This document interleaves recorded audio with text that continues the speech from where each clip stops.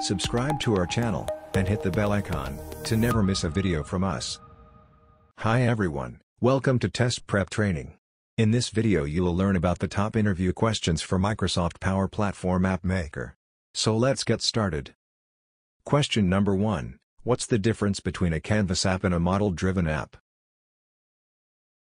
Your answer is, to create a big app, model-driven apps use a component-based methodology. Dashboards, business processes, forms, charts, views, and entities are some of the components that make up a user interface. Canvas apps, on the other hand, start with the user experience and allow for customization through various UI features such as charts, media, drop-down lists, text input boxes, labels, and more. Question number 2, what are Power Apps, exactly? Your answer is, Power Apps is a platform as a service solution.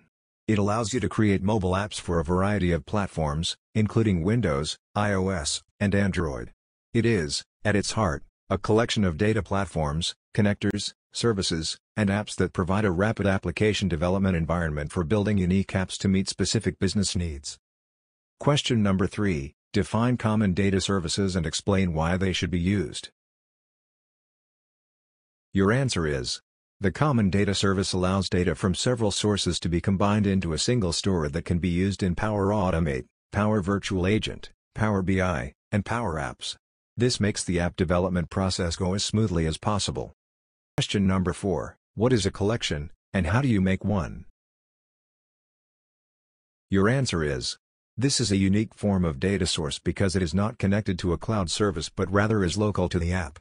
This is usually utilized as the device's local storage, and it can't be shared between devices for one or numerous users. They can be saved and accessed locally as well. Clear, Clear Collect, and Collect can all be used to manage collections. Question number 5, in Power Apps, how can separate user environments be created?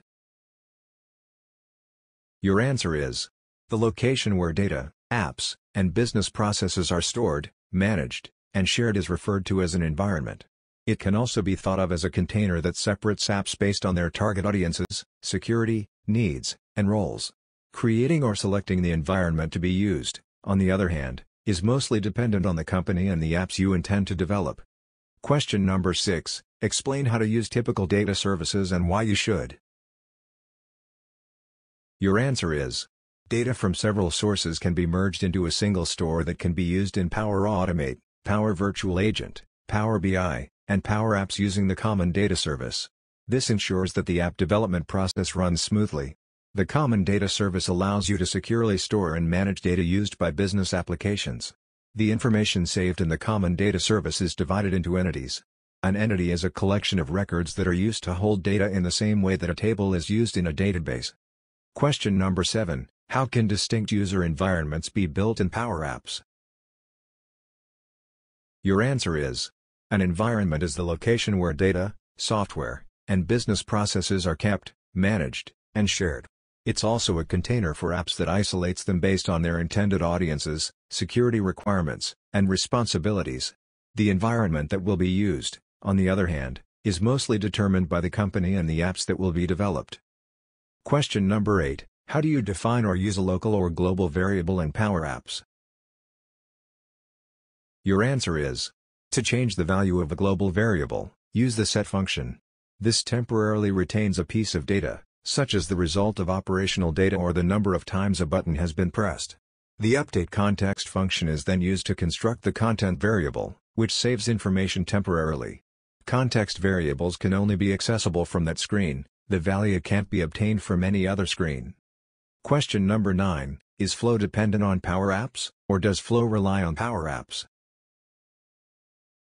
Your answer is, it's really easy to get this messed up. Power Apps is a new version of the solution that lets you construct a mobile-friendly app that sends form data to SharePoint. Although Power Apps makes considerable use of Flow, it is not required. Flow, on the other hand, can and does use Power Apps as a front-end for its operations, but it is not required to do so. Question number 10, in Power Apps, explain the idea of security roles. Your answer is, Security roles are used in Power Platform to provide authorization levels for certain individuals or teams.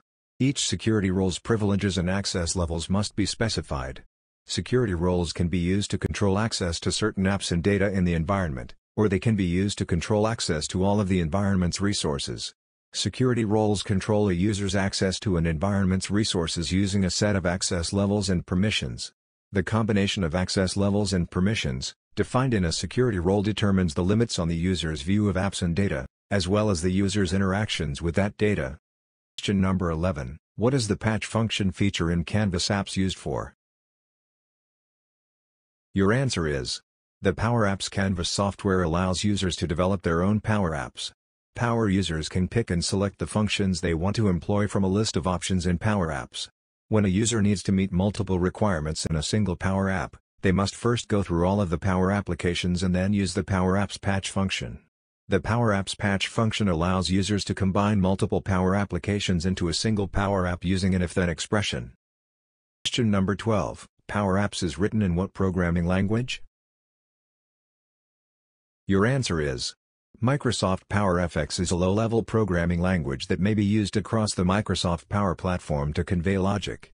It's the same language that underpins today's Microsoft Power Apps Canvas products, and it was inspired by Microsoft Excel, stated Greg Lindhorst, a Microsoft Principal Program Manager. Question number 13. In Power Apps, how do you export to Excel? Your answer is we must utilize a flow to accomplish this because there is no direct function in Power Apps. 1. When a button is pressed in Power Apps, link it to a flow. 2. Send JSON data to the flow as a parameter. Using the create CSV and create file actions in the flow, save the JSON data to Excel in a SharePoint site. Using the React to Power App action, we can transmit the URL of our Excel file to Power App. 3. When the Excel link is received by the Power App, it saves the file it using the download feature. Question number 14. Explain the functions save data, load data, and clear data. Your answer is 1. The save data function names and saves a collection for later use. 2. The load data function restores a previously saved collection. It is not possible to load a collection from their source using this function. 3.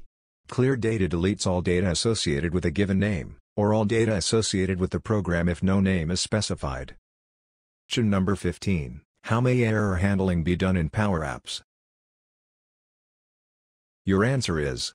The app will display an appropriate notice if a mistake is made while providing feedback. This will help the salesperson figure out what went wrong and what to do next. To manage failures and display the appropriate message, the Canvas app introduces the if error and is error functions. Formula-level error management must be enabled in order to use these features. To enable formula-level error management, please follow the procedures below. 1. To get started, launch the Canvas app and go to File. 2. Under Settings, go to Advanced Settings. 3. Enable error management at the formula level. For more such videos, subscribe to our channel.